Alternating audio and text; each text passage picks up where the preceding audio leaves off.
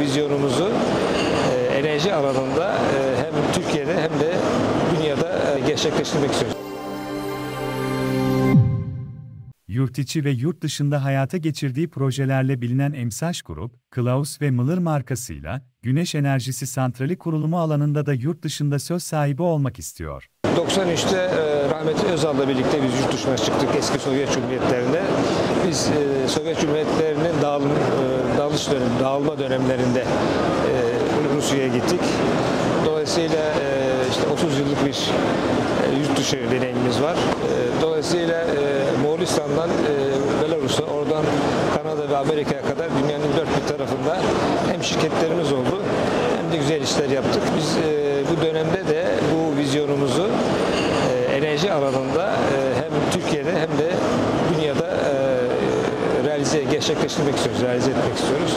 Bunlar e, Avrupa kökenli ama biz yüzde yüz haklarını satın aldık. Şu anda bir Türk şirketi, Klaus Miller e, şirketiyle ama saygın bir e, isim, saygın bir şirket olduğu için biz yüzde yüz Türk olarak bu ismi kullandık.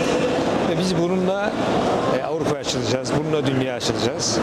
Ve çok da iyi tepki alıyoruz bu isimle. Şirketin yönetim kurulu başkanı Arslan'a göre, Türkiye'nin güneş enerjisi alanında önünde pek çok fırsat var. Ben güneş enerjisinin Türkiye'nin geleceği açısından çok e, önemli olduğunu ve e, Türk ekonomisine de büyük katkıda bulunacağına inanıyorum. Onun için bütün tecrübemizi ve finansımızı güneş enerji sistemlerine yoğunlaştırdık. E, bugün e, aslında baktığınız zaman e, Almanya bundan 20 sene önce bugünkü kapasitemizde şu anda 8 gigawattlık bir güneş enerjisi potansiyeli var. Halbuki Almanlar işte 20 gigawattın üstünde ve bizden 20 sene önce işe. Onların güneş verimliliği bizim yarımız kadar. Bizim bir şirketimiz de e, Londra'da.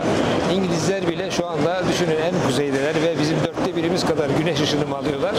Onlar da güneşten yararlanmaya çalışıyorlar. Dolayısıyla e, güneş e, en doğal, en temiz, en ucuz e, bir e, enerji kaynağı oldu. Çünkü eskiden güneş yatırımları pahalıydı, güneş e, panelleri pahalıydı, e, diğer aksesuarlar pahalıydı.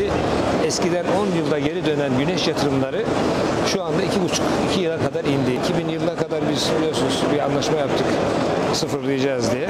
Ama ben bu e, sonuca çok daha erken ulaşabileceğimiz kanaatindeyim.